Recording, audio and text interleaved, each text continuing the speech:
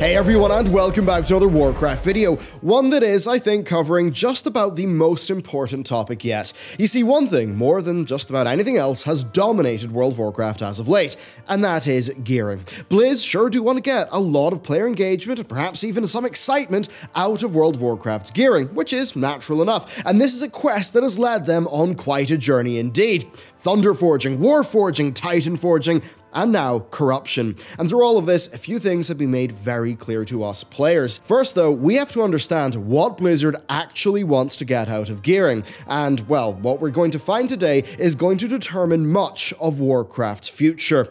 Now, do you want a great non-RNG upgrade? Well, it's easy. Socket today's sponsor NordVPN into your internet gear at nordvpn.com forward slash Bellular Gaming, where you will get 70% off at 349 a month plus your first month free. Now, a VPN, virtual private network, takes all the data that goes out of your computer and it redirects it through a server of your choosing. Of course, Nord have 5,000 plus of them, an industry leading encryption, so you will be anonymous and you will appear as being from whatever location that you choose. This will, of course, let you easily view content from other regions, get around those region locks. Nord are also a Panama registered company. This is quite important. It means that your government cannot get to them to breach your privacy. Your ISP, as an example, they won't know what sites you use, so they won't be able to sell your browsing data to advertisers, nor can they prioritize some of the sites that you use over others. Now, their app and their browser extension make it all extremely easy to use and fast, and you can get 70% off and a free month at nordvpn.com forward slash Gaming. So, thank you very much them for supporting this channel and this content, and with that, let's get going. Overall, what we've seen is that the last thing that Blizzard want is a deterministic gearing system, and that basically means a more old school situation where, you know, a boss just drops some gear or maybe you get some currency, with deterministic meaning that's a fairly fixed path. Basically, you'll have a best in slot set to work towards. Blizzard have consistently talked about how they basically think that that's boring and has issues. They pretty much never want you to look at a boss's loot table and just think to yourself, oh, well, that loot won't be relevant to me you know, be it Titan Forging or Corruption, they have wanted there to be something that could happen to that gear, something that could be exciting, that could make that gear matter to you. And then, of course, it also maybe helps guilds who are struggling to push progression but are re-clearing a lot of content. And also, in some ways, you know, if that guild is getting a little bit of, you know, a Titan Forge here, a Titan Forge there, Corruption here, or Corruption there, it kind of balances out to whether they're maybe getting currencies and upgrading their gear, or just getting currencies and purchasing gear off a vendor, if you get what I mean. It's kind of like one big self-sustaining, self-balancing system. So that's what's in the game. What is their stated goal overall? Well, their stated goal is pretty simple, right? It's to make as fun and replayable a game as they possibly can. One where you've always got reasons to log back in and progress your character. And they progress along the usual MMO routes with, you know, boss drops, quests, reputations, and currencies until patch 5.2 of Mists of Pandaria. Since then, things got more extreme. We had Thunder Forging, then War Forging, and then Limited War Forging became Titan Forging, which was a bit more extreme, and then that that gave way to corruption, a system that right now has more impact on your character's power than any RNG based affix system in the past history of World of Warcraft. Now, these systems aren't really what you usually get in traditional MMOs, they're actually what you find from action RPGs. So, in ARPGs, content is typically not in a weekly lockout, and that means it can just be grinded and grinded and grinded, you know, like Diablo. You get torrents of loot, so the idea in those games is you've got layers and layers of skills, builds, affixes, uh, sets, things like that, with the goal being to just, you know, give players near infinite reasons to keep on playing and so many different character builds that they can actually play around with. It really is the opposite of deterministic, and, well, it's exactly the direction that Blizzard have taken World of Warcraft in. So, why do this? Well, if you look at their development focus, I actually think it's rather clear. World of Warcraft is more and more designed these days as an instant group action RPG and less of a shared world MMO. Mythic Plus is designed for near infinite replayability. Raids pretty much are as they've always been, but without best in slot sets, the potential upgrades from them are pretty much near infinite, and the same goes for newer systems like, say, Horrific Visions. Ultimately, right, Blizzard are designing a group action RPG. That's what the content, the core content in terms of playtime is like, and that is what they've designed their loot system around. Why? Well, it's rather clear to us. Infinite possibilities, infinite replayability. Now, is this system being designed to provide infinite enjoyment, or is it merely a cynical attempt to squeeze as much as they can out of as little core content as they can? Well, you know what? I'll leave that one up to you. Personally, I think it's somewhere in the middle. I think they know that it stretches their content out a bit more, but I also think they do genuinely think much of it is more fun.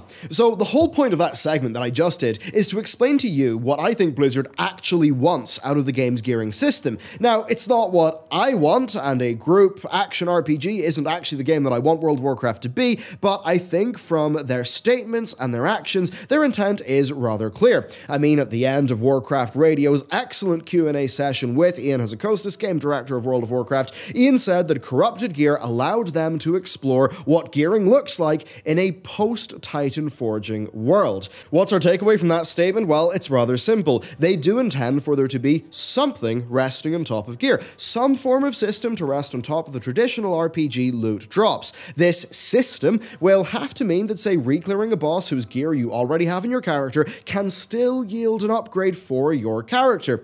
That pretty much is the core of it. Blizzard, I do believe, will do anything they can to not have a deterministic gearing system in the game as they have had in the further past of the game. Again, I think Ion's answer makes it rather clear that their direction in a post Titan Forging world pretty much is that of new affix systems such as corruption and not a scaling back of on gear rolled on drop effects. Remember that, if anything, corruption has had more impact than Titan Forging ever had in terms of your character's overall performance. So, with Blizzard's goals established here, let's talk about how 8.3 system actually played out. Now, I'm going to be kind, I'm going to start with a nice bit. You know what? Some of the effects are actually kind of cool. They are OP, yes, but they're actually kind of cool looking. Stuff like Twilight Devastation, the um, the Shatter one, Void Lash, Infinite Stars, they're cool to have in your character. They're not particularly interactive, yes, they're not really that thrilling to play with, but they give you some cool new spell effects and things popping up from your character. They fulfill a basic fantasy quite well. That said, however, the rest of the abilities suck. They're incredibly boring. They're just stat boosts, very minor effects. And sure, you do always need some junk abilities in there to make the good ones feel better, but for this system, I think it has left most of it just feeling like a bit of a disappointment. Then, on a basic level, there is a part of game design generally that I think the whole thing fails because of its balance, and that is the relationship between a player's skill and their results. Right now, corrupted effects contribute a massive, massive proportion of a player's overall throughput, at least for DPS players, and pretty much for free. I mean, yes, better players absolutely will still rise to the top, but you get the point, right? It just doesn't feel good dealing lots of damage when you know it really didn't have that much to do with you, and instead had everything to do with an affix that just happened to roll in your gear. Now, in the context of an action RPG where you're constantly grinding and it's more of a solo adventure, well, that type of thing can work a lot better, but I would say less so in a game with World of Warcraft's encounter design, class design, overall pacing, and social mechanics. Then item level is another massive issue for us. Blizzard have repeatedly said that they want a close relationship between Gear's item level and its real world power. Corrupted Gear has failed in this regard more than any other system they have ever tried in the history of World of Warcraft. This is simply not a debatable point. This is a fact.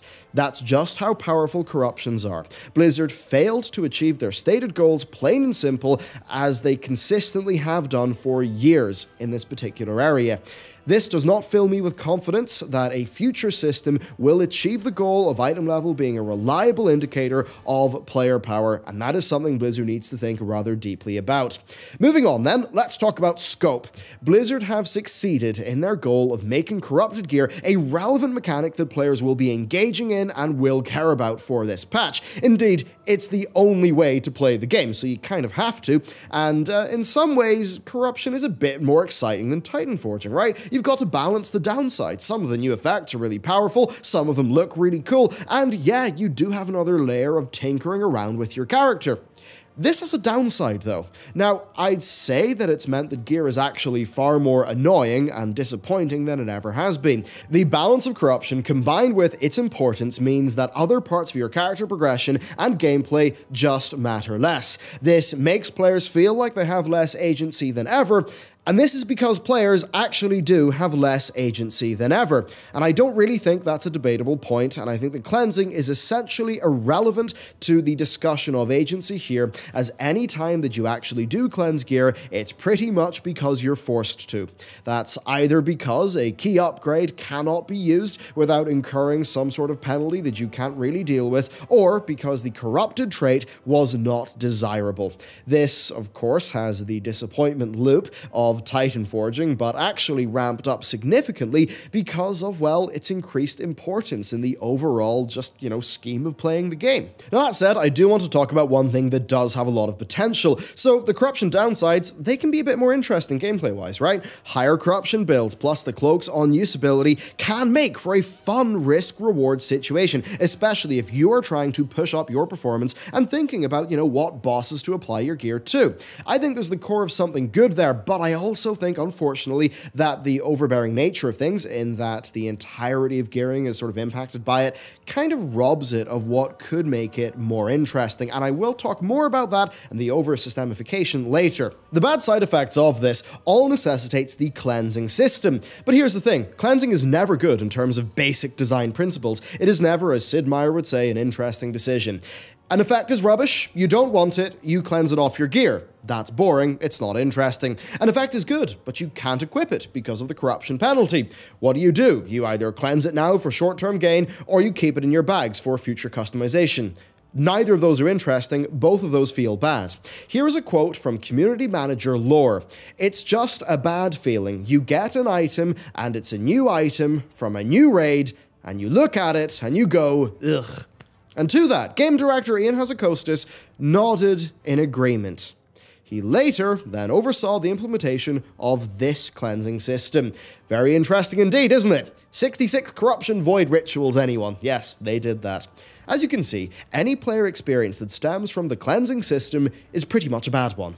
A far better solution would be to allow players to disable corrupted effects now for a minor cost and then to re-implement their, or you know, to turn them back on again later. That would maybe allow for more action RPG-like build tweaking and that actually appears to be what the development team want you to do anyway. So why not do that instead of the overly punitive and full of, you know, downsides and disappointment cleansing system that they put into the game? You know what? I have no idea why. Cleansing just makes no sense in terms of design fundamentals. Well, okay, it sort of makes sense in that it does, I mean, it does remove the corruption from gear, and that kind of does make corruption more scarce, so, you know, it kind of would incentivize playing the game more and more to get more and more gear later on, and that might actually seem like a little bit of a conspiracy theory, but certainly there are not that many logical reasons for implementing such a system, and the mind does have to wonder. Okay, let's move on from cleansing to something even more fundamental. This all highlights one mistake they've managed to repeat the Azerite mistake. The Azerite gear system placed much of our character progression on our gear, so much so that it ended up dominating the game. Just like how you needed the Heart of Azeroth's levels to unlock further Azerite gear traits, you actually need more corruption resistance in order to wear more of your corrupted gear in realistic scenarios. Of course, you know, if you didn't have the Heart of Azeroth levels, the traits just wouldn't activate. The gear was still wearable.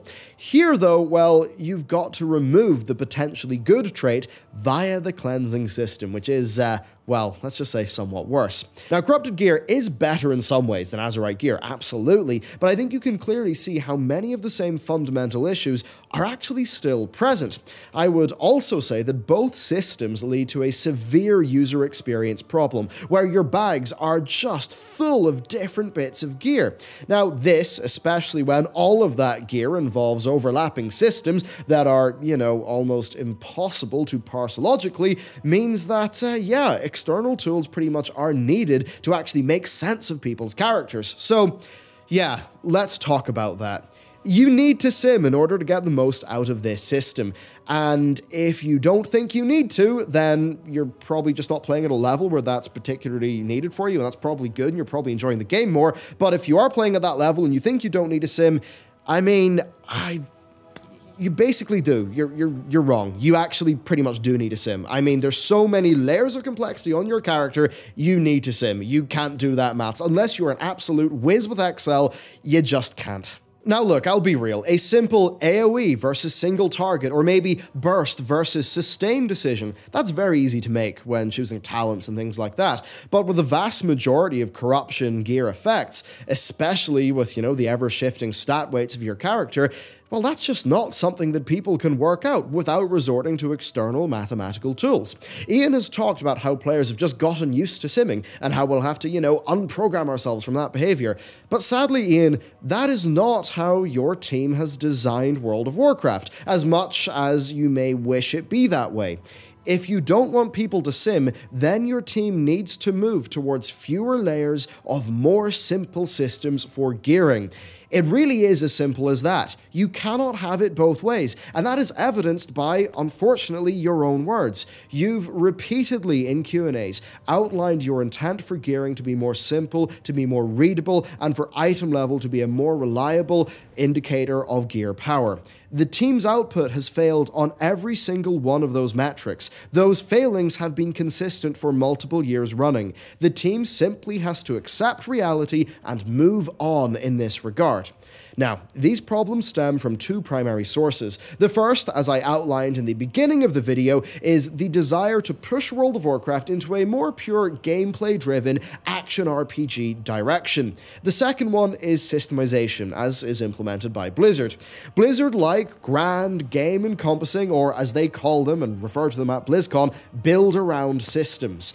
Azerite was one of those systems. Yes, you can have your regular gear, and then you can have glyphs or you could put them all together into one massive self-balancing system. You could have, you know, off bits of gear and trinkets with interesting effects, as we maybe saw in 8.2 and the Crucible of Storms or past expansions, or you could have that all be one massive game encompassing system with corrupted gear that happens to self balance. The problem here is that these massive game encompassing systems have to average out. They have to self balance or else they don't work. Every part has got to fit into a massive hole that defines progression, and uh, I mean, it's got to work for everyone. It is, by its very definition, a one size fits all solution for a game that is played in an extremely diverse number of ways by an extremely diverse player base. This stuff, because of its complexity, seems like it is designed for the hyper gameplay oriented players, but actually, I think they're the players who are probably the least happy with these systems. I mean, let's just talk about gear with positive effects and negative effects. That was actually a really interesting thing when it was just, you know, an off piece of gear. Extra effects for, you know, just a one off bit of gear or maybe a set, like in the Crucible of Storms. But with Corruption, they took what was interesting in the past and then they homogenized it into one massive system. They removed its potential to give us unique items and they ended up just making the entire game rely on it. So overall, what I would say is kiss. And no, that's not me coming onto the Warcraft team. That's actually keep it simple, stupid. Very old, very classic axiom. That is a good one. Go back to having set bonuses. Go back to having one-off small sets in dungeons and raids. And then, instead of trying to make World of Warcraft one great, big, infinitely replayable Diablo 3 style, Greater Rift kind of thing, just focus on content. The system's design time that is taken up by these absurd gearing systems surely cannot be worth it given the player sentiment. Blizzard, rather than thinking about the benefits from infinitely progressible gear, instead think about the opportunity costs of implementing such a system, the amount of design time that actually goes into making these things happen. Hell, corruption, corrupted gear has been so unbalanced that it's clear they did not have the design time to actually pull it off well and to make it be good for the game. What other things could your staff be doing in that time? Could we be making just more cool bits of, you know, Crucible of Storms like gear? Cool trinkets like the punch card? New rewards that maybe aren't tied to player power? New types of content like the Mage Tower? More unique reputations, things like the Warlock class quest? Maybe, you know, new reps instead of the homogenized fill the bar ones that we've been used to recently. You know, you guys have thrown all you've got at gearing. You've tried so hard for years, and all you've done is make the game worse.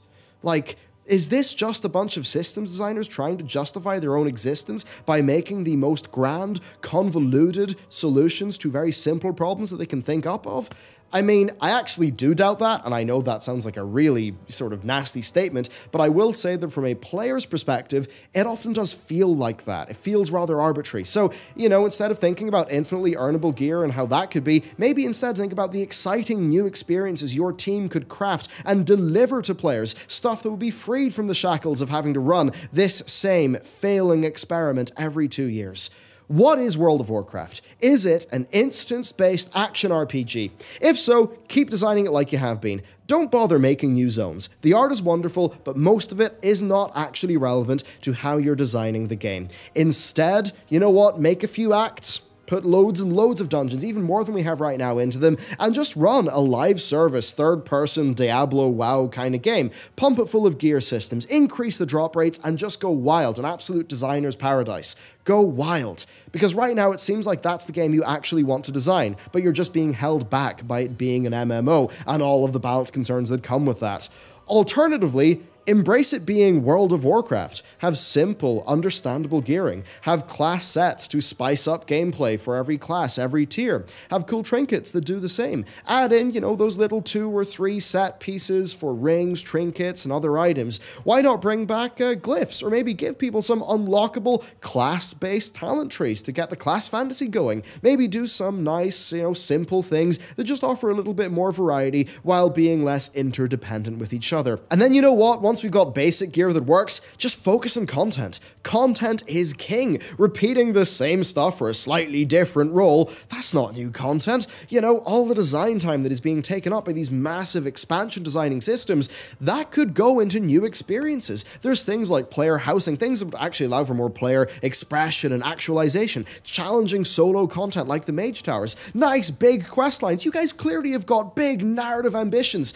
Could we not work to get some more screen time for these characters? Maybe those new quest lines for those new characters could be really challenging and have cool rewards. You know, maybe we could get more things like visions, which are awesome, things like Chromie, which were awesome, reputations that don't all feel the same, ones that have maybe got unique progression and their own stories. You know, like the reputations you guys used to put in the game in the past.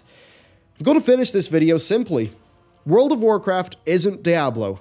And the longer that this is a point of confusion for the design of this game, the more it's just going to have problems. People don't log into World of Warcraft for a super fast paced, high octane situation. They log in to spend time in a world that they love. And that's the thing that we've got to think about, not all of these crazy systems that basically do require a convoluted simulation with an additional subscription uh, to actually be able to get the most out of. It's just getting a little bit out of hand. And the reason why in today's video I've decided to be so pointed, so strident, so completely targeted, uh, and, you know, actually talking, you know, in more of a direct way to the team, in a way that, you know, maybe will hurt for, for some of them to hear is because I think this is the most important thing out, like completely. This is the most important thing for World of Warcraft to pivot away from, to change, to get right in the future. Because if this stuff could just be solved and we could stop going from every expansion being a new scuffle between the players and the devs on gearing, then maybe the developers would be free to actually unleash their creative potential. I know that team can do better than what they're doing now because they have done better in the past. That said, horrific visions are really awesome. So you know what? All, all those people who did the visions, you're great. You're great. Uh, you're great, and I hope you just get to do more things in the future because uh, for me, you single-handedly saved this patch, and you're all incredible. Anyway, that is it for me. I would love to know what you think about all of this, so please do let me know down below. And uh, yeah, I'll see you next time.